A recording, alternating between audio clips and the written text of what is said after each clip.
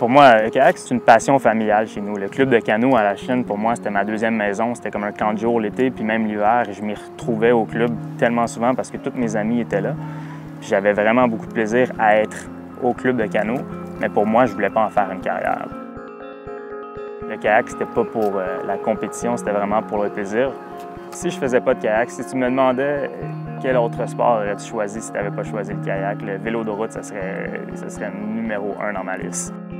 Le vélo, le vélo va me donner une certaine condition physique que peut-être je ne peux pas aller chercher naturellement dans le kayak. Puis pour moi, d'ouvrir mes horizons, à essayer d'autres sports, ça me donne un équilibre aussi dans la vie que quand j'embarque dans mon kayak, euh, j'ai une force physique plus forte les athlètes cyclistes canadiens, c'est des bons amis à moi. Puis euh, je suis passionné par leur entraînement.